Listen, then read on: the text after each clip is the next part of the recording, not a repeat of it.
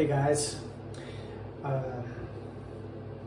back again for another pomade review.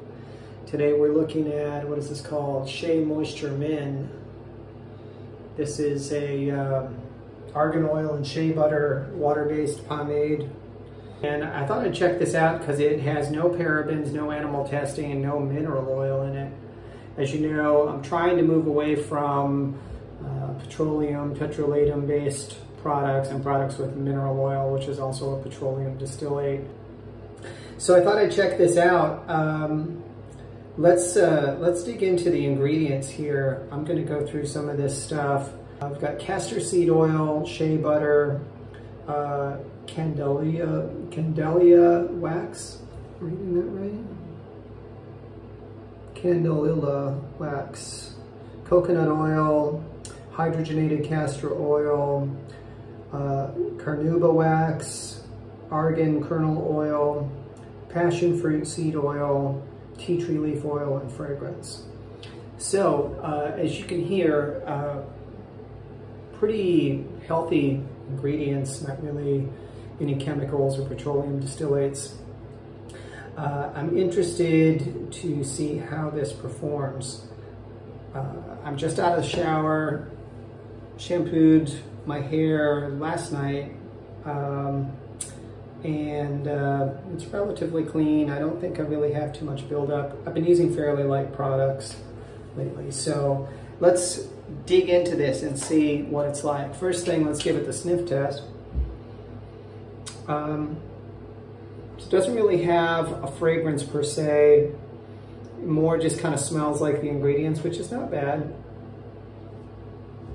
Let's dig into it and see what the consistency is.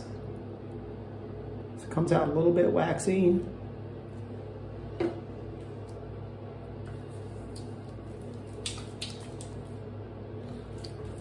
It actually emulsifies to a fairly oily consistency in the hand.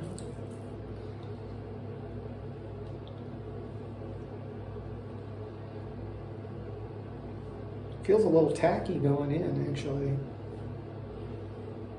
So maybe that will translate to some hold, we'll see.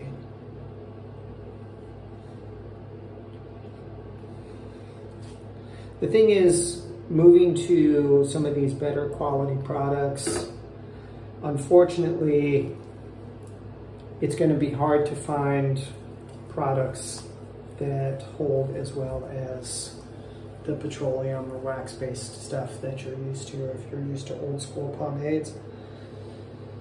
But I haven't given up hope yet and the quest continues.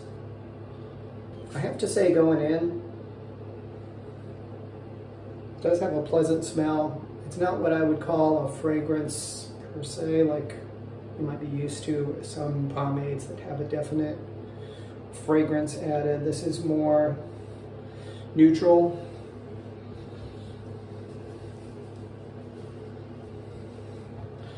So just to show you, I haven't used a lot. Again, I like to start with a little and add as needed. The hair's still a little bit damp. Goes in easily enough, seems to comb through pretty well. Has a fair bit of shine. More shine than some of the pomades I've tried recently. So for you guys who like that real shiny greaser look, this could potentially be an alternative.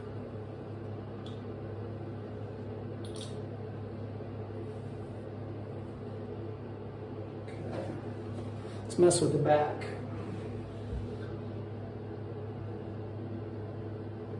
Kind of fold in the cowlick here.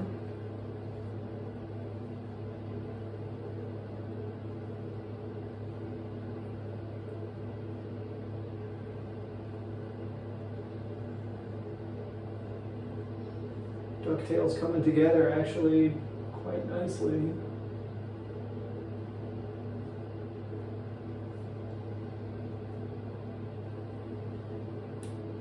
I'm surprised for as light as this felt in the hand, how tacky it feels in the hair.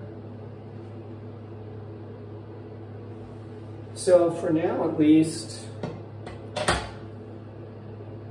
I'm getting some pretty good hold. In fact, as I kind of manipulate the top here, it's got some stiffness to it already.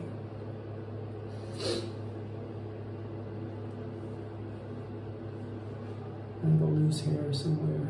There it is. So there you go. Um, I wish I could remember where I bought this because so far at least I like it better than I expected to. I think this was I think this was a drugstore or a department store find so I'll have to look around for it again. I actually like this a lot. Um, I'm going to give this some time to dry and see how it performs later in the day. But right now, this is one of the better uh, non-petroleum based alternatives that I've run across. Um, run across a couple of them recently and I'm really, really excited about that. This is four ounces. This is a pretty generous amount. I can't remember the exact price I paid for this. I think it was between nine and twelve dollars. It's about average. Um, and for that amount of product, that's that's pretty decent for a newer school alternative.